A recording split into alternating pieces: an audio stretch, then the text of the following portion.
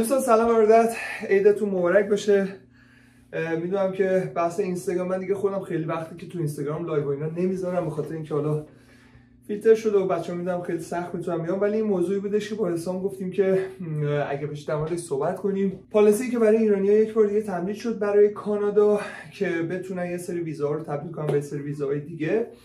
از جمله که اگر مثلا با ویزای توریستی بتونم بیان می‌تونم حالا ویزا نگیم. تبدیل کنم به اجازه کار یا اجازه تحصیل به صورت سه ساله که خب خیلی ارزشمند هستش. اما من می‌ذارم توضیحاتش رو حسام قطعا خدمتتون بده. ولی خب یه نکته رو توجه کنید. این به بنای این نیستش که کلا کانادا در واقع بهشت برین هستش و میگه بیاید همه چی بهتون میدم. شما اولا باید تمام مدارک رو ارائه بدید همچنان.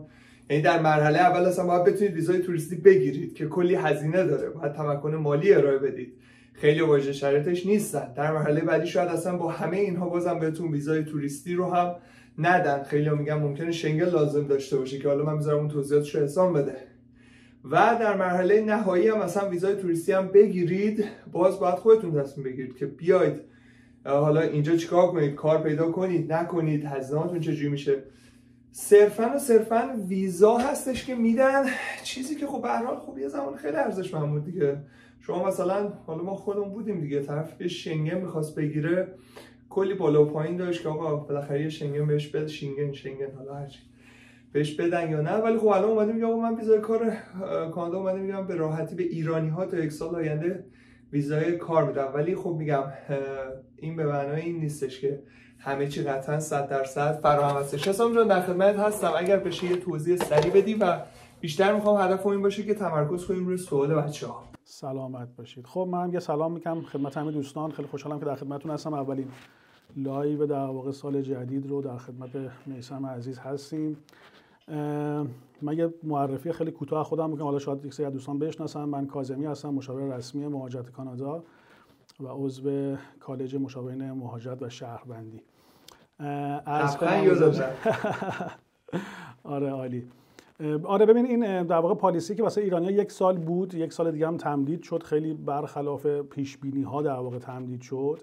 فکر هیچ کس فکرشو نمی‌کرد که تمدید چون پالیسی های مشابه که برای سوری ها و ترک ها و حالا یک سری کشورهای دیگه بود تمدید نشدن. ولی خب برای ایرانی ها شد به هر دلیلی که بود به حال این موقعیت خوبیه.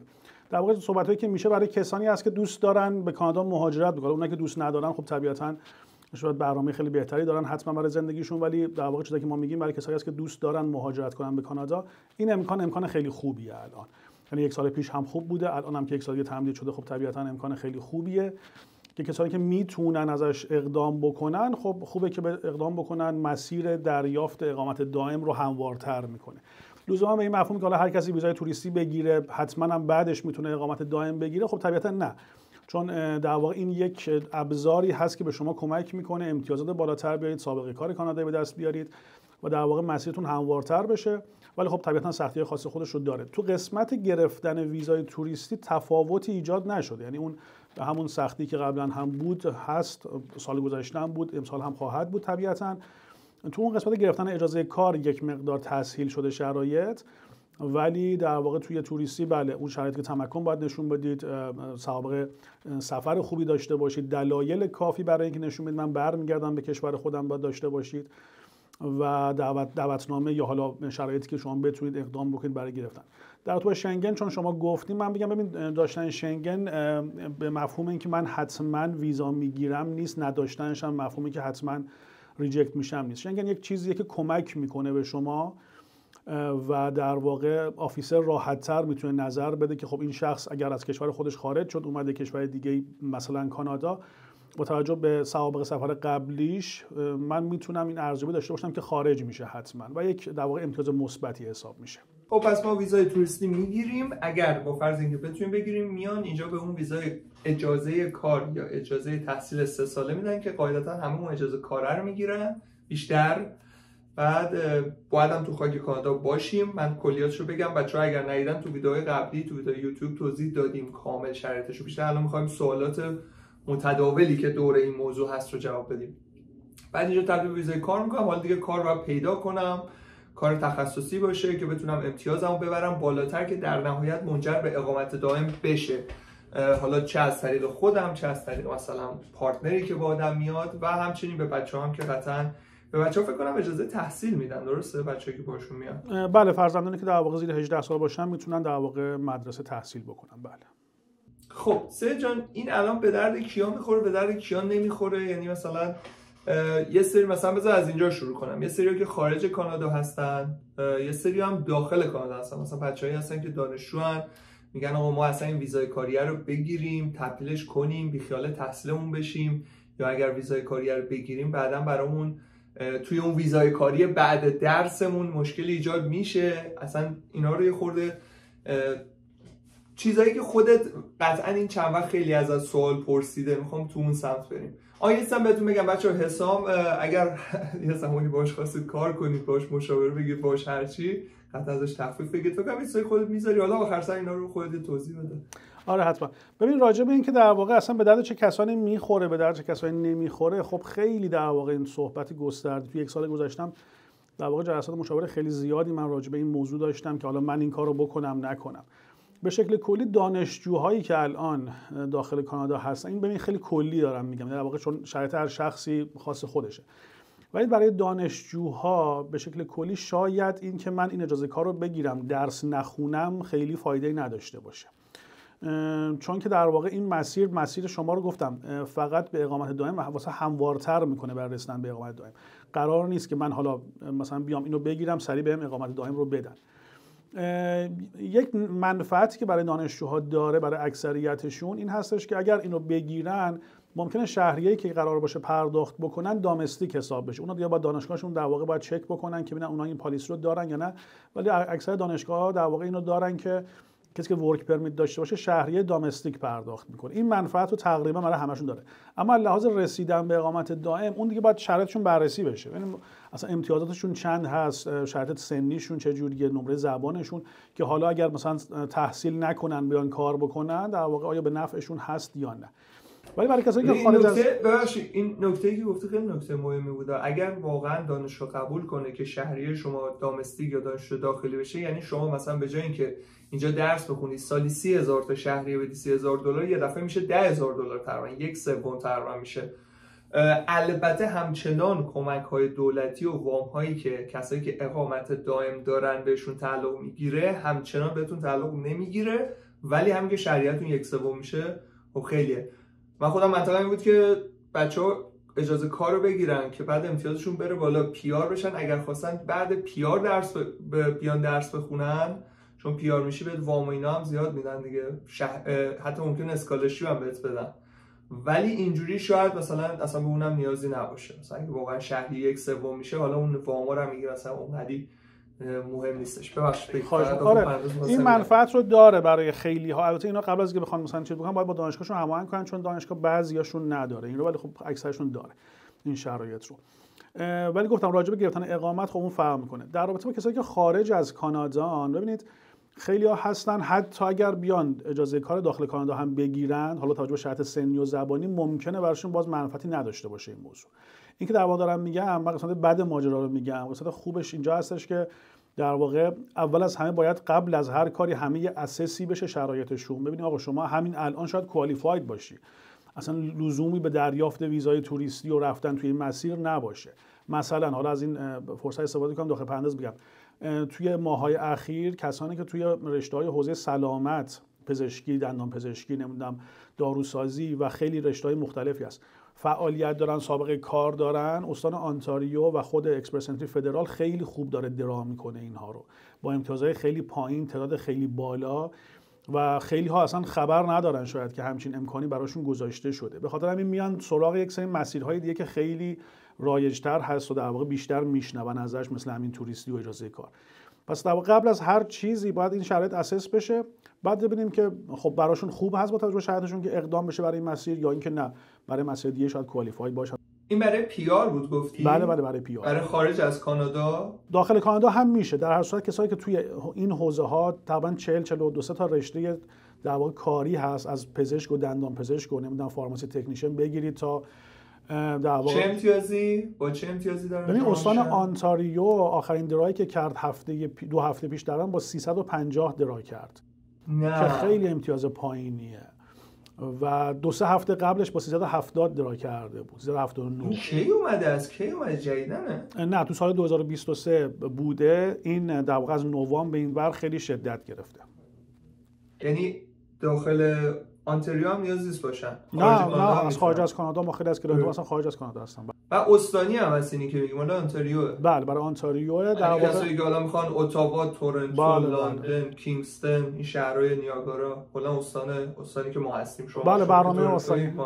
بله دقیقا برنامه استانی استان آنتاریو زیر مجموعه Express Entry ه. با امتیاز خیلی پایین داره draw هم می‌کنه. خود اکسپرس هم در واقع تو این حوزه داره خوب draw هم می‌کنه. بچه های خارج کانادا چی؟ بچه های خارج کانادا. پس بچه های خارج کانادا حواستون باشه. اصلا می‌تونید مستقیم شاید پیار بتونید از استان اونتاریو بگیرید. و امتیاز 350 یعنی هیچی خیلی پایینه.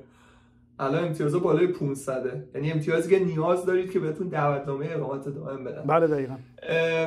بچه های خارج کانادا الان چجوری توریستی سختتر شده براشون یا نه؟ توریست این در واقع از ماه نوامبر به این طرف یعنی تو آذر تقریبا به این طرف سخت شد. یعنی تقریبا میشه گفتش که اکثر اپلیکیشن ها اصلا بررسی هم نشده ظرف چند روز ریجکتی ها میاد. حالا به حال بعضی موقع سازمان مهاجر از این کارا می‌کنه. همچنان هم تقریبا این روند ادامه داره متاسفانه. ولی خب پیش بینی میشه که توی مثلا یک دو ماه آینده بهتر بشه وضعیت. معمولا وقتی میایم سمت تابستون میایم معمولا یه مقدار وضعیت ها بهتر میشه. ولی به شکل کل به شکل کلی بخوایم نکنیم به نسبت پارسال این موقع یه ذره بدتره. ولی احتمالا یک دو ماه آینده بهتر میشه. بهتر میشه. بعد حالا سوالاتی که بیشتر خود افراد این چند وقت باش خیلی مطرح هستی چی تا من برم سراغ سوال بچه ببین نکته که در واقع خیلی ها سوالاشون راجع به همین بحث توریستی مثلا که مثلا من اقدام بکنم نکنم با این شرایط.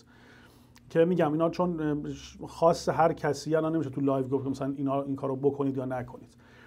خیلی راجع به شرایط در واقع همین بحث پیار شدن هست که من ما چند تا در واقع وبینار داشتیم توی همین شاخه حوزه سلامت هم توی یک دو ماه گذشته باز هم خواهیم داشت این رو که الان این حوزه خیلی خیلی خوب. یعنی کسی ببین تو پرستاری پزشکی دندان پزشکی در واقع داروسازی دستیار داروخونه نمی‌دونم کارشناس آزمایشگاه 40 42 تا در واقع شاخه شغلی. اگر سابقه کارتونا دارید الان فرصت فوق العاده است. یعنی اصلا تعلل نباید کسی بکنه چون سال بعد ممکن نباشه این شرایط.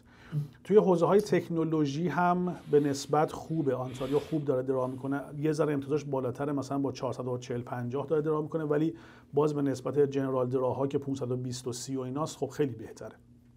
بهتر من فقط یه نکته هم بگم بچه ببخشید میونی کلامتون. ما همه اینا رو کامل کامل با خود حسام توی اون وبینار توضیح دادیم. توی وبسایت برید وبینار رو می‌تونید تهیه کنید. واقعا نسبت به قیمتش اطلاعاتی که حساب تو اون داد حتی فرما رو دونه دونه نشست. قشنگ توضیح داد. اینجا این فرم اسمتون می‌نویسید اینجا اینا رو پر می‌کنید. کا اون وبینار کامل کامل برای این کسی که بخواد ویزای توریستی یا تحصیلی اقدام بکنه. اونم می‌تونید ببینید. بچه های وبینار هم اگر کسی الان اینجا هستش یه جلسه هم که آخر هفته برای بچه ها می‌ذاریم. اختصاصی سوالشون رو جواب میدیم. اگر خواستید می‌تونید برای اون اقدام کنید. ببخشید داشتیم گفته اصلا یادم رو بگم همه اینا تو وبینار هست. آره این توضیحات در واقع توضیحات عمومی که خب بعد توی وبینار داده شد. بعد یه نکته دیگه که برنامه خوب دیگه هم که الان مثلا میشه روشون تمرکز کرد بحثی مثل استارتاپ ویزا هم در واقع همینطور البته کلا خوب بود ولی همچنان هم خوب هست به نسبت. و برای یک سری ها حتی اگر بیان داخل کانادا این ورک پرمیت هم بگیرن همچنان باز مسیرشون همون استارتاپ میشه.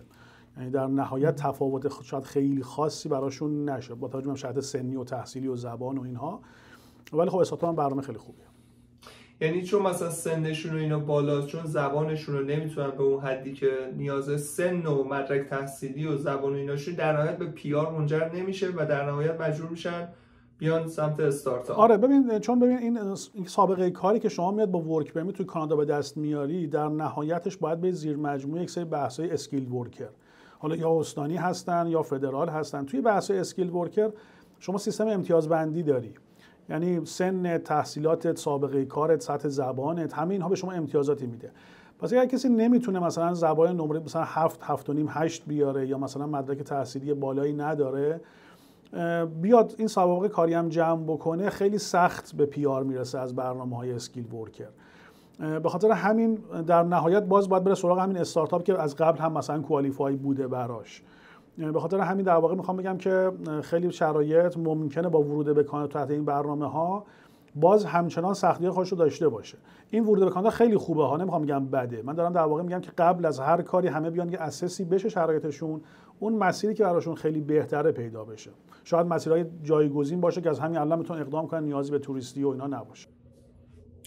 ببین چند تا حالت من دیدم. مثلا کسایی که خانواده بودن مثلا اومدن با ورک پرمیت بعد مثلا آقای رفته سر کار مالا چیز مثلا خانم رفته درس خونده بعد خانم درسش تموم شده رفته سر کار. یه جوری امتیازشون سعی کردن برسونن. که در نهایت درا بشن. ولی خب خیلی هم اگه سن بالا باشه فکر می‌کنم نمیشه دیگه. سخت میشه. آره. بالای 40 سال دیگه بالای 40 سال دیگه خیلی سخت میشه دیگه. آره. بالای 40 سالی که نتونه نمره زبان خوبم بیاره خیلی سخت. عملا دیگه خیلی نباید به Express Entry آره به اکسپرس که تقریبا نباید فکر کنم با این امتیازایی که الان هست برنامه های استانی هم خب هر کدوم شرایط خودش رو داره. ببین البته ببین یکی دارم میگم باز قانون چیز نیست. مثلا الان فرض کنید مثلا من مثال بزنم. استان بریتیش کلمبیا یک برنامه‌ای داره برای مربیان مهد کودک که هر هفته داره draw می‌کنه و با امتیازات خیلی خوبم داره draw می‌کنه. یعنی کسی که سابقه کار در مهد کودک داره و الان هم میاد مثلا میره بریتیش کلمبیا با این قانون ایرانی ها اجازه کار می‌گیره شروع به کار می‌کنه. از همون کارفرماش می‌تونه جاب آفر بگیره. بعد با یه امتیاز 60 65 درام میشه. 60 65 اصلا امتیاز بالایی نیست توی اون برنامه. یعنی با یه سطح زبان معمولی و در واقع شرایطی می‌تونه بیاره.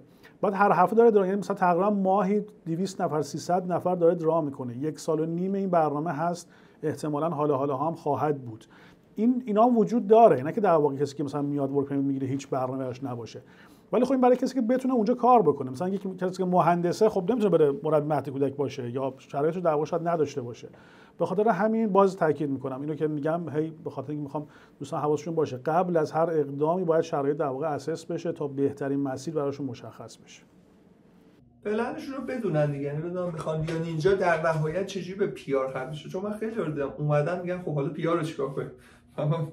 دوستای خودم هم می‌پرسم میگم خب من نمی‌دونم PR چیکار کنید به خودم من دست ببین در واقع ایرانی هایی که تو یک سال گذشته اومدن چون اصلا client های خود ما خب خیلی اومدن با این شرایط. بعد تازه اومدن دفتر مثلا نشستیم با هم جلسه داشتیم که حالا برای PR باید چه کار بکنیم. یعنی در واقع یک چون اونی که می‌خواد PR بگیره با یک برنامه ریزی چند ساله خب می‌دونه از چه مسیری داره میره. اینو چون یک باره گذاشتن کسی برنامه ریزی خاصی روش نکرده بود. گفتن حالا مثلا یا توریستیه رو داریم یا می‌تونیم بگیریم بریم work permit رو بگیریم. حالا رسیدن به اون نقطه ای که الان ما باید چیکار بکنیم اصلا؟ برای PR اومدیم work permit هم گرفتیم. حالا مسیرمون چی هست؟ بچههایی که اینجا درس میان می‌خونن گرفتن این work permit تو یک سال آینده براشون ضرری هم داره؟ نه ضرری برای کسی نداره. نه. ممکنه منفعتی نداشته باشه ولی ضرری نداره. بعدا اگر فرض کن یکی PH اینو گرفت استفاده هم نکرد سر کارم نرفت. بعدا می‌تونه اون PGWP ش هم بگیره دیگه. بله اون منافاتی با این بله منافاتی با این همزمان هم که تحصیلی و کاری هم جفتشو می‌تونه permit شو داشته باشه. بعد مثلا احتمالا permit رو داشته باشه می‌تونه بره به دانشگاه هم بگه آقا من permit دارم مثلا ساعت های کاریمو بیشتر کنید اجازه کار داره بله دیگه این کسی که این اوپن ورک رو داره خب می‌تونه نامحدود کار بکنه دیگه. یعنی در واقع می‌تونه آره. چون بعضی موقع تو دانشگاه مثلا دانشگاه ما اینجوری بود. از یه ساعتی بیشتر بهت کار نمی‌دادن. چون گفتن تو دانشجویی اصلا ما نباید بدیم. حالا نمی‌دونم بازم ممکنه ندن مثلا بری بگی میگه نه دیگه تو هم بخونی. ولی احساس می‌کنم بعضی موقع هم می‌شد مذاکره کرد. مثلا می‌گفتی آقا حالا حتی توی دانشگاه که اصلا محدودیت نداره برای بیرون دانشگاه نه این برای بیرون دانشگاه در واقع. اصلا آره. برای توی دانشگاه خیلی اصلا موضوعی نداره. ولی برای بیرون دانشگاه آره. شما می‌تونی full-time کار بکنی خب هم درآمد داشته باشی همین که شهریه domestic حساب بشه. ولی علاوه اینکه امتیاز بندی در واقع توی امتیاز بندی به شما کمکی بکنه نه. این رو باید دقت بکنن دوستان. چون همزمان با study permit هست امتیاز سابقه کار کانادایی براشون حساب نمیشه این موضوع. هر چند work permit هم داشته باشن. فقط می‌تونن در واقع خیلی مهمیه. این نکته مهمیه. یعنی شما اگر work permit هم بگیری همزمان با تحصیل دستم full-time هم بری کار کنی که من توصیه می‌کنم اگر می‌تونم بچه‌ها بکنن. چون خیلی از کلاس ها الان آنلاینه خیلی از خیلی از بچه ها رو من می‌شناسم. همزمان با تحصیلشون هم full-time هم کار می‌کنن. خب حالا ممکنه دانشگاه روش حساس باشه. خب ولی عملا قانونی مثلا در سطح کشوری نیستش که یک دانشجو نباید همزمان مثلا کارم full-time بکنم نه ببین شما وقتی work permit داشته باشی و بتونی full-time کار کنی خب می‌تونی کار بکنی. فقط نکته که وجود داره باز توی PGWP باید دقت بکنن. تو PGWP ماکسیموم 50 درصد زمان تحصیلشون می‌تونه remote باشه. اگر بخوام PGWP رو بگیرن. یعنی نمی‌تونه کلا بره من remote مثلا از خونه درسامو بخونم و بعدش هم مثلا کارم بکنم مثلا همزمان با اون درس که دارم می‌خونم بعدش برم PGWP بگیرم. این نمیشه. باید... نه remote نیست. اکثر کلاس ها الان option می‌ذاره. میگه خواستی بیا تو کلاس بشی نه خب یا یه مانیتور هم هست میگه خواستی هم اونجا. الان مثل شرکت ما. یه سری میرن دفتر کار می‌کنن یه سری نه login می‌کنن. از خونه کار آره نه مثلا آنلاین واقع آنلاین و remote یک تعریف داره توی این بحث. یعنی اگه آنلاین هم کلاس ها باشه PGWP مشکل می‌خوره. یعنی ماکسیموم 50 درصدش باید آنلاین باشه. این رو باید دقت بکنن یعنی اگه بیشتر باشه بهت اجازه کار برای تحصیل نمیدن. این جزو شرایط در واقع qualify بودن PGWP. نمی‌دونم اگه کلاس ها رو نمی‌دونم. حالا بچه‌ای که تجربه دارن بگم مثلا مگه می‌زنه تو اون course مثلا این course چی بوده؟ آره ببین اگه موقعی که شما می‌خواید چیز بگیری موقعی که می‌خواید در واقع اولا که خیلی از رشته ها موقعی می‌خواید پذیرش بگیری نوشته. مثلا این رشته آنلاین اونو کار ندارم اما من میگم یه کلاسی هست اون کلاس رو استاد میگه آقا هم خواستید می‌تونید آنلاین بیاد هم حضوری بیاید. خب ببین اینا در واقع توی شرایط در واقع تحصیلشون هست دیگه. یعنی اون موقع که می‌خواد چیز بکنه اون دانشگاه تاییدیه میده که این این اتفاق افتاده. مثلا اینقدر درصدش کلاس آنلاین بوده اینقدر درصدش حضوری بوده. اینا همش هست. به این 50 درصد باید دقت کنم. 50 درصد بیشتر آنلاین بشه. این قانون رو موقتا تو دوره کووید برداشتن. تا همین چند ماه پیش هم در واقع می‌تونستن استفاده بکنن ازش. یعنی بیشتر 5 درصدش هم آنلاین بود مشکلی پیش نمیاد. ولی باز برگشت به همون شرایط اصلی خودش. الان فقط می‌تونن 5 درصدش در واقع آنلاین باشه. ماکسیمم 5 درصد. البته یکی از دوستان درست هم میگه اکثر کلاس ها الان بعد ساعت کاریه. بچه کانادا خیلی کلاس ها 6 بعد از ظهر هفته بعد از ظهر. من دیدم بچه مثلا 9 شب مثلا کلاس دارن. چون می‌دونن همه کار می‌کنن صبح خیلی کلاس کمتر می‌ذارن. خیلی خوبه. پس یکی بیاد اینجا عملا تبدیلش هم بکنه به کاری. اگر من خیلی هم بچه تو همین اتاق دیدم کار تخصصی هم پیدا کردن همزمان با درسشون. نصفش هم حساب بشه برای پیارشون. بازم خوبه دیگه. شما عملا بعد دو سال تحصیل اگه همون اول بتونی سریع اگر بتونی یه کارم پیدا کنی انگار بعد دو سال تحصیل یه سال هم سابقه کار کانادایی داری. و خب امتیازات خیلی میره بالا. البته با این چیزایی هم که گفتیم اون وسط هم شاید اصلا بتونه از خود استان پیارش رو بگیره تمامش کلا خیلی راحت شده. یه سری مسیرها آره یه سری رشته ها خیلی خوب شده. میگم این رشته حوزه سلامت الان فوق العاده است شرایط. یعنی اگر کسی من همیشه جلسات مشاورم گفتم حالا به یک سری دوستان گفتم اگر الان اقدام نکنی سال بعد میگی ای کاش پارسال کرده بودم. خیلی پیش میاد این موضوع. الان رشته های حوزه سلامت فوق العاده است شرایطشون. اگر می‌خوان بکنن الان وقتشه من خیلی بار می‌شناسم. چندی چند سال پیش پیار کانادا رو داشتن بیخیالش شدن رفتن. الان به هر دری می‌زنن دیگه دوباره نمی‌تونن بگیرن. چون همش کلا حالا این یه سال یه مقدار آسون شده ولی کلا همیشه اینطوری بوده که سختتر و سختتر میشه و گرونتر. خب سید به کیا توصیه نمی‌کنی این کارو بکنم؟ ویزای توریستی منظورته؟ آره کلا چه مواردی جواب نمیده یا چه مشکلاتی این وسط این چند وقته دیدی؟ به این شکل کلی مگر بخوام بگم مثلا چون پارسال خیلی بهش برخوردم این موضوع رو کسانی که بعد در واقع مثلا دختر یا پسر 16 17 20 ساله کسایی که وابستگی خیلی زیادی ندارن شرایط تحصیلی یا در کاری که خب طبیعتا ندارن وابستگی مالی و کاری و اینها به کشورشون ندارن و طبیعتا توی این سن سفرهای خیلی کمی هم دارن اینها اقدام نکنن. پارسال یه حجم خیلی زیادی از کسانی که در واقع توی این ردیه سنی بودن مثلا جلسه مشاوره میگم میگم من می‌خوام بیام اجازه کار بگیرم. خب اصلا جدای از این که اجازه کار زیر 16 سال خب طبیعتا داده نمیشه. اصلا ویزای توریستی هم شما نمی‌تونید مستقلا بگیرید به این سالگی ها مگر شاید خاصی سال نمیدن. ببین یک نفری بخواد اقدام کنه اصلا احتمال 99 درصد ریجکته. با خانواده با داشتن یک سری شرایط چرا؟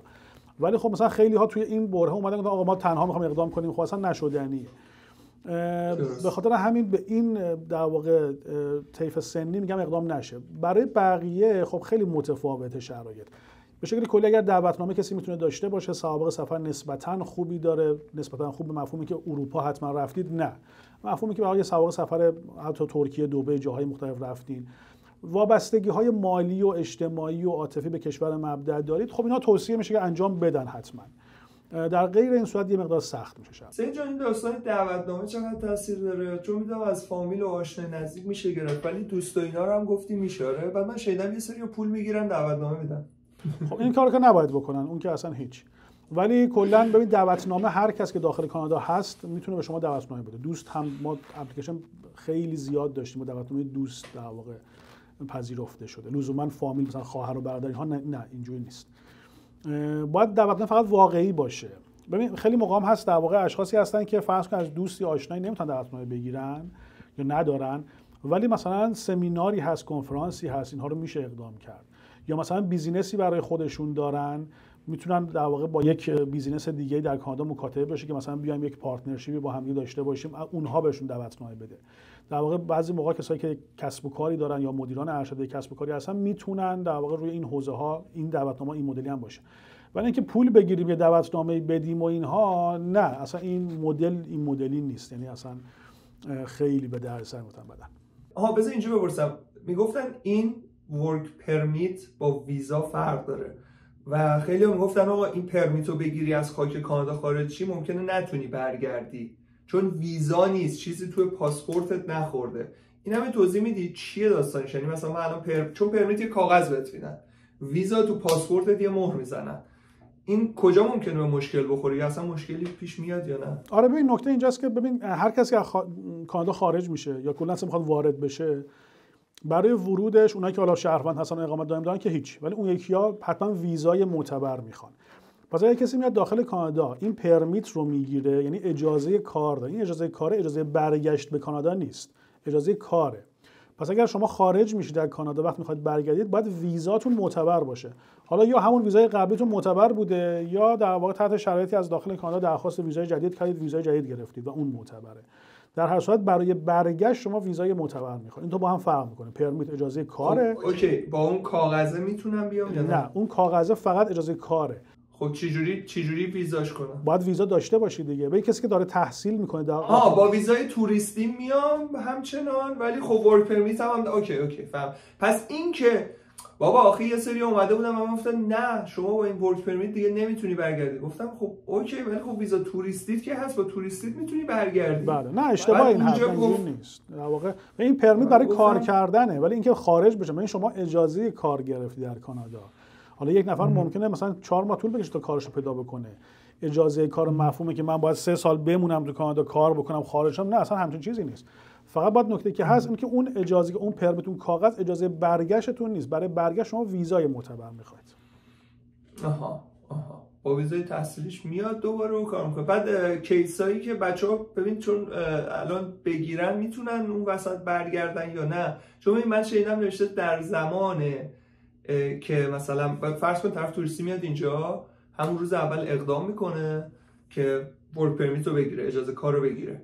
بعد میگه خب آقا کجا بمونم؟ حالا یه هفته هتل موند دو هفته پیش فلانی موند. بعد میگه آقا بذار برگردم اگه سری صادر نشه.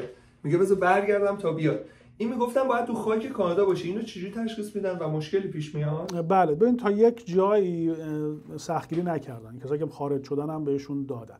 ولی از یک جایی به بعد سختگیری کردن. بعد اومدن پالیسی رو تغییر دادن بعد نوشتن که در زمانی که اصلا می‌خواد آفیسر اینو بده شما با داخل کانادا باشی. اون وسطش می‌تونی خارج بشی برگردی. ولی چون شما نمی‌دونید چه زمانی صادر میشه خب یعنی منظور اینه که باید کلا بمونی. بمونی. ممکنه یه هفته برای شما رو بدم ممکنه دو دوست خودمون فکر می‌کرد دو هفته بیاد ولی 40 روز آره الان طولانی شد. دقیقا از 20 آره. 20 تقریبا یا 18 فوریه به این طرف هر چی سابمیت شده تک و توک خیلی کم در واقع جواب طولانی شده. به خاطر همین باید بمونن. داخل خواهی کانادا تا اینکه اینو بگیرنش. بعد ورک پرمیت هم مل... به قولی کل کانادا می‌تونن کار کنن دیگه. کبک و بله, بله. اینا که نداره. نه اوپن ورک پرمیت هست. برای هر کارفرمایی هر کاری می‌تونن انجام بدن. و دوستان بتونم میرم باز بگم شما ورک پرمیتی دارید می‌گیرید که در نهایت اگر کار تخصصی بکنید به درتون می‌خوره. اگر کار جنرال بخواید بکنید در نهایت برای امتیاز PR تون به دردتون نمی‌خوره. یه توضیح داره البته این من توضیحش رو بدم. بله اکثرا کار تخصصی در واقع باید باشه ولی کار تخصصی الان یه تعریفی داره. کار general مفهوم این که شما تو فروشگاه اینا کار بکنید بله اونا خیلی واجد شرایط PR نیست. ولی همون فروشگاه اگر مدیر مثلا والمارت باشه اونی که کلیده دستشه. من که بچه می‌گفت می‌گفت من تو والمارت مدیرم. می‌گفتم خب فرق با بقیه چه می‌گفت اون کلیده هست اینجوری میندازن. اون دست منه. واقعا واقعا با همون PR گرفت. آره اون کارا خب میشه یه کاری که در واقع توی TEER 0 1 و 2 و 3 قرار می‌گیره.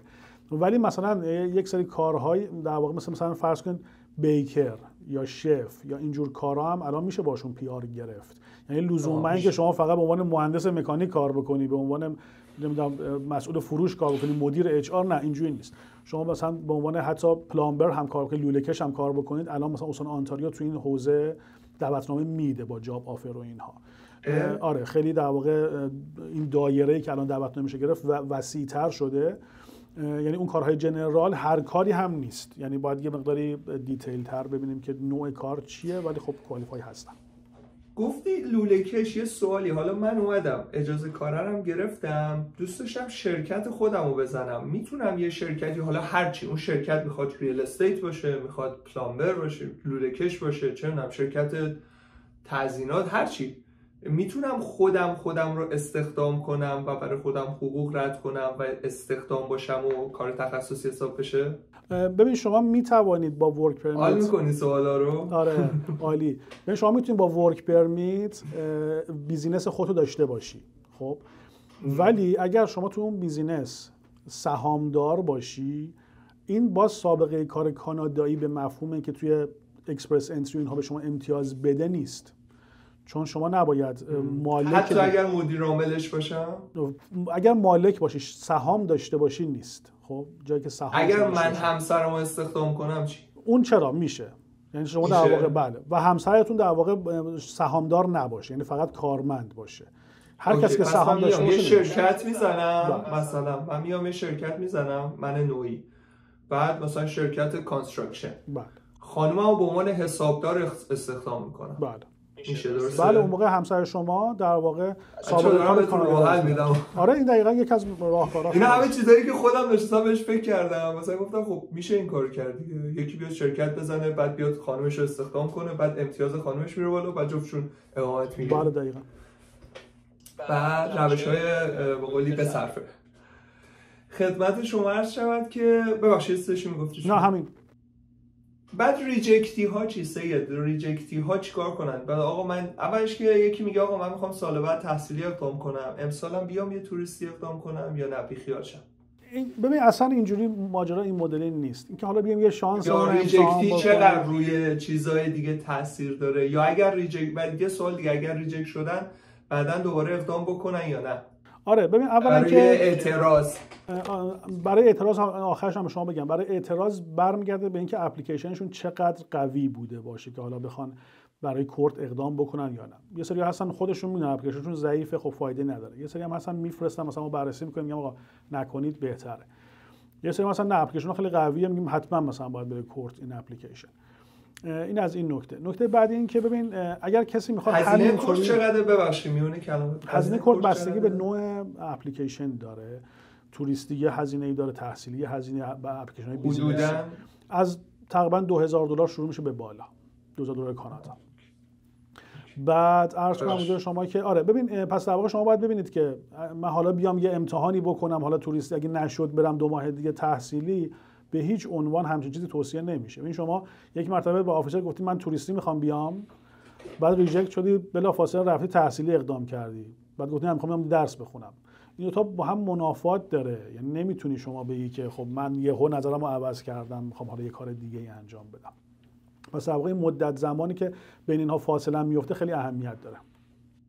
من این بهتون بگم دوستان الان که دوستان کامنت گذاشت. تمام چیزایی که ما داریم میگیم خیلی ساده به نظر میاد. ولی در عمل همش کلی process شما یه ویزای توریستی می‌خوای بگیری باید کلی مدارک ارائه بدی کلی چیز کنی. مثلا با میگیم آقا نمی‌دونم کار پیدا کنی اقامت بگیری. اینا همش کلی process. خب یعنی یه وقت این خدای نکرده این چیز نباشه که ما خیلی ساده داریم جلوه میدیم. کل کار آقای کاظمی همینه. رو تیمش کلی تیم و دفتر و کلی شرکت و اینا کارشو نمیده. من فقط داریم صرفا میگیم که چیا شدنی چیا نشدنی به معنای نیستش که کاملا ساده است. بازم تاکید می‌کنم هم توی وبینار کامل توضیح دادیم که چجوری باشه همین که با خود حساب می‌تونید صحبت کنید. حالا ازش مشاوره بگیرید باش بخواید همکاری کنید که بتونه بهتون نظرش رو بده. ببخشید داشتید می‌گفتید؟ آره دقیقا همین که شما گفتی من تکمیل بکنم. این دقیقا همینه. خیلی مواقع هست ما میایم پای صحبت های مختلف میشینیم بعد به نظر خیلی ساده است. دو تا فرم پر می‌کنیم میفرستیم. بعد reject میشیم آخرش. بعد دوباره میریم همون کارو می‌کنیم باز دوباره reject میشیم. اینا یک پروسه حقوقیه که در واقع فقط این فرم پر کردنه نیست. یعنی شما باید بدونی شرایط چیه. مثلا یه موقعی واقعا شاید کسی که می‌خواد بیاد کانادا گفتم اول صحبتم گفتم کسی که نمی‌خواد بیاد که اصلا خب موضوع مشخصه. ولی کسی که می‌خواد بیاد واقعا باید دست به عصا حرکت بکنه و اون برنامه که خاص خودش هست رو اقدام بکنه. اینکه حالا بیایم یه امتحانی بکنیم نشد میریم سراغ یه چیز دیگه اون موقع در واقع خطرناک میشه. یکم در مورد هزینه هم صحبت کن. سه الان برای مثلا توریستی چقدر پیشنهاد میدی به قولی تمکن مالی داشته باشن؟ حدودی می‌دونی یه عدد. بعد خود مثلا چه می‌دونم پرونده رو بخواد بده مثلا یه شرکت مثل شما اون خودش چقدره؟ بعد بیاد اینجا هزینه حالا هزینه و اینا من همون دوستمون اومده بود داشتم حساب کتاب می‌کردم چقدر تو چل روز بنده خدا هزینه کرد اینجا. خب تازه خیلی کاراش خوب پیش رفت. یه خورده از اینا هم شما بگو حالا منم اگه چیز داشتم تکمیل می‌کنم. به راجع تمکن مالی من پیشنهادم این هستش که برای توریستی برای یک نفر حداقل 13 14 هزار دلار کانادا برای یک بازه حداقل دو ماهه باید تو حسابتون باشه. این حداقلشه. خیلی جاها ممکنه بشنوید که مثلا چه می‌دونم 2000 دلارم بسته و این حرفا. نه اصلا اینجوری نیست. 13 14 یعنی officer باید کاملا متقاعد شما پول کافی دارید برای سفر اومدن و برگشتن. بعد برای تحصیلی هم در واقع برمیگرده به اینکه اون میزان شهریه سالیانه چقدره. به اضافه در واقع یک عددی باید بکنم برای هزینه های زندگی که اونم باید حداقل دو ماه و نیم سه ماه تو حساب باشه. و در رابطه با هزینه های انجام کار ببینید برای مشاورین رسمی و وکلا در واقع خب هزینه خیلی متغیره با توجه به شرکت و اینها و شرایطی که دارن. ولی دیگه از 1400 500 دلار کانادا شروع میشه تا 3000 دلار 4000 دلار به هر نفر معمولا هزینه های توریستی. برای ویزای توریستی و تحصیلی هم یا نه تحصیلی؟ تحصیلی نه بالاتر از اینه یعنی از اون کفش تقریبا از 2500 600 دلار شروع میشه به بالا. شروع میشه به بالا. بعد خود ویزا هم که حالا ویزاش خیلی هزینه ای نداره فکر کنم نه ویزای توریست 185 دلار هزینهش برای هر نفر بزرگسال برای ولی یه سفر هم می‌خواد که بله یه سفر هم مثلا دقیقاً. مثلا ترکیه میرن اکثرا یه بلیت هواپیمای 80 میلیونی می‌خواد رفت و برگشت. بله به کانادا. نگاه کردم دیگه تقریبا 80 90 میلیونه. خیلی گرون شده. اصلا بلیط ها خیلی به طرز عجیبی واقعا گرون شده. بلیت کانادا می‌دونی من چند گرفتم سال 2019 چند گرفتی؟ من یه طرفه گرفتم و رفت و برگشت نگرفتم چون نمی‌خواستم برگردم. حدس بزن. 2019 هم بلیط کانادا چند گرفتم. 6 میلیون. 4 میلیون و 300 خب. گرون گرفتی. چون من نه داداش گرون نگرفتم بابا. خیلی خوب گرفتم. نه چون خودم من کمتر از اون گرفتم. کردن تو پاچه. نه من چون خودم کمتر از اون گرفتم. من واسه دو نفر رو ما گرفتیم 3 میلیون خورده ای حتی یک دو سال قبل خیلی تو دیگه خوب گرفتی. قبل من اومدی شما؟ آره قبل. بعد خب حالا اینجا هم که بیان به هر حال ببین حالا به غیر از حالا گفتیم بلیتو می‌رسن اینجا بچه اولش حالا اگر آشنایی چیزی داشته باشید که عالیه و به نظر من تعارف هم نکنید. اگر اینجا تونستید پیش کسی بمونید خب؟ چون یه هتل بخوای بگیری شما مثلا چه می‌دونم شبی 150 200 دلار باید هتل بدید. حداقل. بعد و با یه هفته هم کارتون راه نمیفته باید حداقل دو سه هفته هتل بگیرید. مثلا یه دفعه می‌بینی فقط هتل خودش مثلا میشه 3000 دلار مثلا. 3 4000 دلار برای مثلا یه ماه. خب تازه بیشتر اگه یه ماه بخوام بمونم. بعد هزینه های رفت و آمد و مثلا خود گواهی نامه گرفتن من اون روز داشتم نام کردم. یه گواهی نامه اگه همش رو بخوای بگیری فکر کنم 400 500 دلار میشه. اگه تازه همه رو بتونن موفق پشت سرم بگیرن آره با کلاسایی که باید برید و اینها خب به حال همینقدر میشه آره. ولی خب به حال صحبت در نهایت اینه که آدم باید میگم باز برمیگردم به همون حرف که زدم. کاملا اینکه شرایط اسس بشه و شما بدونید چه مسیری براتون درسته این اون مسیر درست بر اومدن به کانادا است. یعنی صرف اینکه الان یه ویزای توریستی می‌تونیم به شکل کلی ایرانی ها بگیرن بیان داخل کانادا ورک پرمیت این شاید کار نکنه واقعا. شاید هم برای خیلی ها کار بکنه. کما اینکه برای خیلی هم کرده در واقع. ولی خب منظور این که قبل از هر چیزی قبل از هر اقدامی باید در واقع بشین با یک نفر صحبت کنید مسیرتون چیزی می‌تونه باشه بعد اقدام بشه. آه ببین به غیر از حالا آنتریو رو گفتید جای دیگه ای هستش که برنامه در حال حاضر اکتیو خوب داشته باشه بچه بتونن از طریقش اقامت بگیرن. چه حالا بچه که دانشجوان چه ورک پرمیتی ها و اینکه باز یکی از دوستان پرسه بود داخل من از بچه وبینار الان زیرم پینش کردم. میسم ca.com تفریفم خورده. واقعا هم ازش چیزی نیستش خب؟ اذیت هم نکنید دیگه. من الان دیگه از پیتزا و اینا رو تو تهران می‌دونم چند شده. در یه دو, دو تا پیتزا.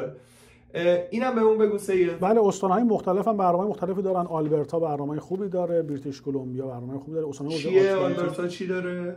ببین برنامه زیر مجموعه Express Entry داره که اونم با امتیازهای پایینتر draw می‌کنه. برنامه job offer base داره که خیلی برنامه خوبی هستن. با خیلی از مشاغل حتی مثلا در حد مثلا bakery و اینها هم میشه PR گرفت. منیتوبا هم همین برنامه ها رو داره. اینا ببین هر کدوم من دارم سریع ازش رد بشم به خاطر اینکه کلیات همشون یکیه اون جزئیاتشون با هم فرق می‌کنه. ولی کلیاتش اینه که شما اگه job داشته باشید مثلا 6 ماه کار کرده باشید اونجا یا بعضی مواقع اصلا لزوما به کار کردن از هم خارج از کانادا هم میشه اقدام کرد. می‌تونید در واقع job بگیرید که PR برسونه شما رو. بریتیش کلمبیا برنامه خیلی خوبی داره. استانهای حوزه آتلانتیک یعنی چهار تا استان شرقی کانادا اونها هم برنامه خیلی خوبی دارن که بر اساس job offer البته. ولی خب تمکن خیلی پایین می‌خواد نمره زبان پایین می‌خواد و برنامه خیلی خوبی. یه برنامه که جدیدا در واقع از حالت پایلوت در اومد و دائمی شد. یک برنامه شهرهای شمالی بود که پایلوت بود تا آخر جولای که اینم در اومد. برنامه business ی هم که به هر حال برنامه خیلی خوب می‌تونن باشن مثل startup visa و بعد خدمت شما عرض شود که برای بچه خارج از کانادا هم چیزی هستش؟ ببین همه اینها برای خارج از کانادا هم میشه اقدام کرد. مثلا آتلانتیک شما job offer داشته باشی از خارج از کانادا هم میشه اقدام کرد. بریتیش کلمبیا همینطور آلبرتا منیتوبا آنتاریو. اینا همشون قابلیت اینکه از خارج از کانادا هم اقدام بکنید وجود داره. بله. بسیار. دوستان ما یه live هم برای بچه‌ای که تو webinar بودن تو همون تلگرام می‌ذاریم که بتونن بیان شخصا سوالاشون از حسام بپرسن. من که نه حسام بپرسن خودت بذار اون live دیگه من نه آره. نه شوخی می‌کنم ما که باعث افتخاره. خدمت شما عرض شود که webinar هم که گفتم می‌تونید ببینید اگر به درتون خورد. چه نکته ای هم که گفت یه لینکی به من داده حالا من لینک رو پیداش کنم. می‌ذارم لینک رو که اگر خواستید باهاش صحبت بکنید. دیگه همین دیگه. عالی. من یه, یه روزه برگشتم اتاوا دوباره برگردم مونترال. آره من دیروز دیدم شما مونترال بوده گفتم ما live داریم بعد مونترال چیکار می‌کنی؟ دوباره آقا من نگم یه تجربه داشتیم. ببین یعنی من یه ویدیو بسازم. انقدر در مورد ماشین فرقی بد بگم. ببین وسط اتوبان حالا ببینید ویدیو بذاری بهتره. یعنی تسلا نخرید. واقعا تسلا نخرید. خیلی بیخوده. خیلی بیخوده. شما نکته ندارید مرسی مرسی از شما مرسی از همه دوستان که با ما بودن تا این لحظه. باز تاکید می‌کنم چون یه فرصت یک ماهی در واقع توی ایران هستم من دوستان رو خیلی خوشحال میشم که نزدیک ببینم هر کمی که در واقع تمایل داشتن که بتونیم در واقع کمک حال همه دوستان باشیم. خیلی ممنون. به موفقیت شما و همه دوستان بازم دمتون گرم. مرسی از شما قربون شما. زنده باشید خدا